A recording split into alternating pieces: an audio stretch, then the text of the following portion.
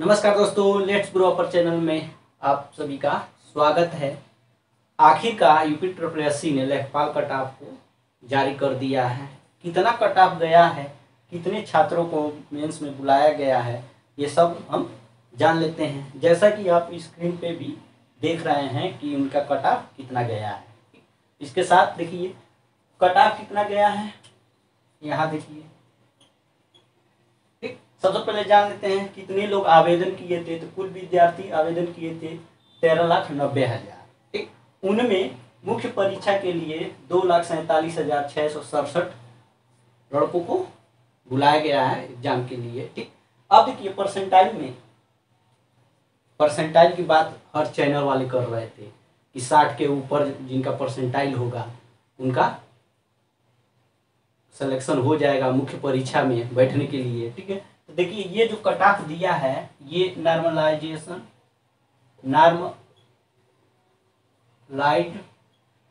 Score है। फिर से बता रहे हैं ये परसेंटाइल नहीं है, जो कट ऑफ़ निकला है, वो परसेंटाइल नहीं है, वो क्या है? नॉर्मलाइज्ड स्कोर है।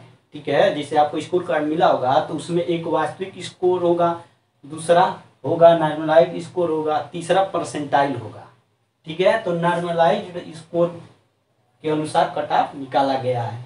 जनरल ओबीसी और ईडब्ल्यूएस तीनों का कट ऑफ़ गया है बासठ दशमलव नौ छ परसेंटाइल परसेंटाइल नहीं नॉर्मलाइज स्कोर गया है।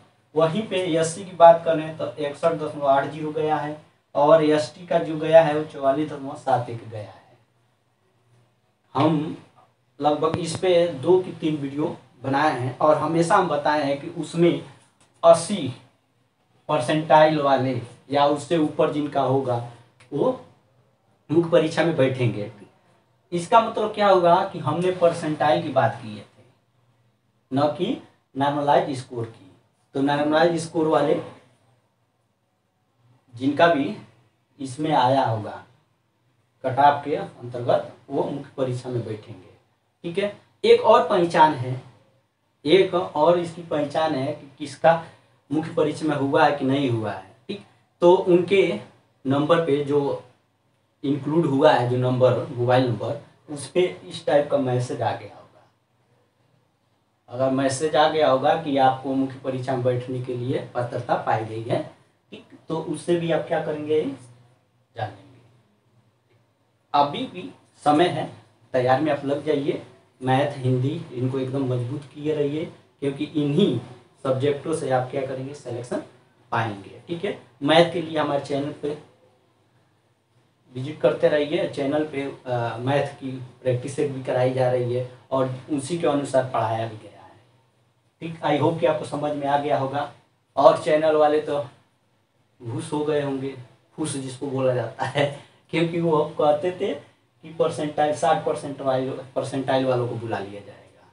लेकिन वैसा हुआ नहीं है। बासठ के नॉर्मलाइज स्कोर जिसका है, उसी को मेंस में बुलाया गया है।